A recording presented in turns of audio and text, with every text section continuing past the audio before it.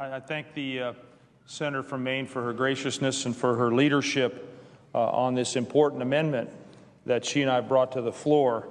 Uh, clearly, uh, the 2012 Ag Appropriations Bill uh, that will direct the USDA to provide adequate flexibility for schools to deliver students nutritious school meals while effectively managing costs is very, very important.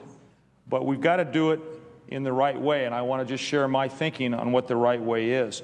In January of this year, the USDA issued a proposed rule for nutrition standards in the National School Lunch and School Breakfast programs that would limit total servings of certain vegetables, most notably potatoes, corn, green peas, and lima beans, to one cup per week and eliminate potatoes from school breakfast.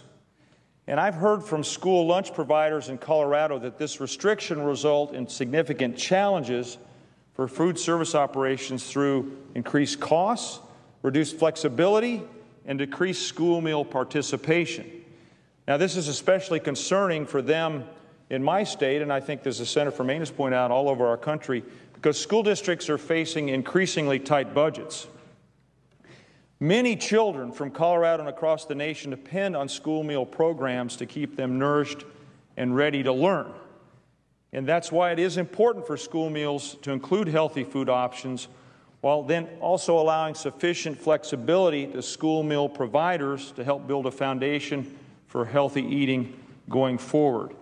In order to achieve this goal, a very worthy goal, it's important that we implement the bipartisan child nutrition reauthorization that the Congress passed last year. And in order to ensure that that implementation is successful for both kids and schools, it's important that the USDA takes into consideration the insights and the experiences of those who are in the school cafeterias every day across America serving meals to our children.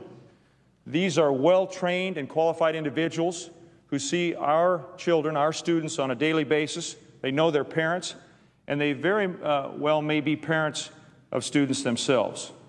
And here's what they're saying, Mr. President. Let me, and to read to you from a letter that the Colorado School Nutrition Association sent me recently regarding this proposed rule.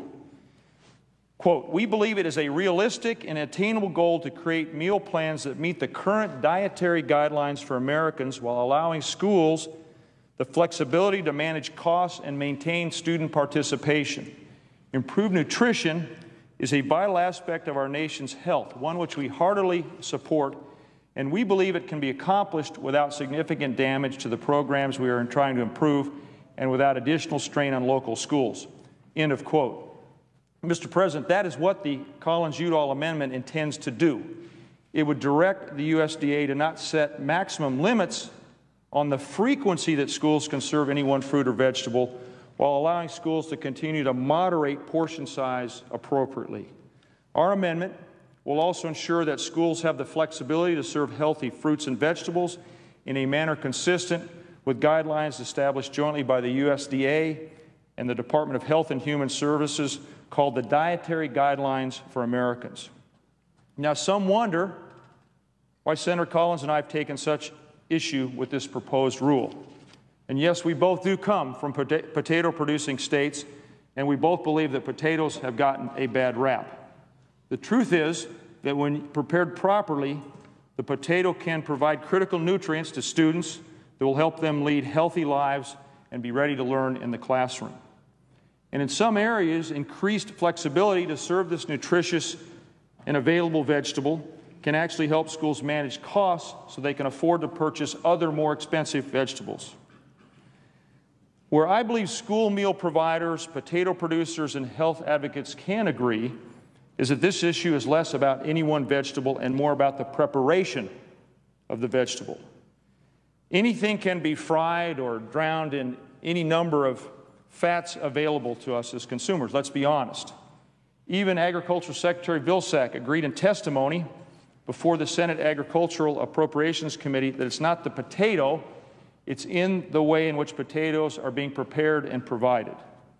We should be encouraging schools to prepare potatoes and other fruits and vegetables appropriately, not limiting their flexibility and potentially increasing their costs unnecessarily.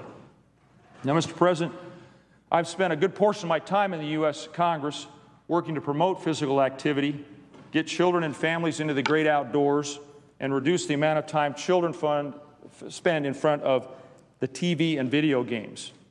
Through my Healthy Kids from Day One Act and the National Kids to Parks initiative, I've focused on getting kids to eat healthier and become more active. And another way we promote healthy lifestyles is making sure that kids have access to needed nutrients and balanced meals. That's why Congress, that's us, directed the USDA to ensure that all fruits and vegetables are part of federal food nutrition programs, particularly school meal programs. I believe, I know Senator Collins believes, there's a balance that we can find here, a balance that preserves needed flexibility for our cash strapped schools, but also preserves guidelines that will ensure our kids are getting the best nutrients possible in their school meals, including from the potato. So instead of pointing fingers, we need to provide common sense solutions that help schools, kids, and their parents make wise choices that in turn will make a healthier America. A healthy country is a strong country.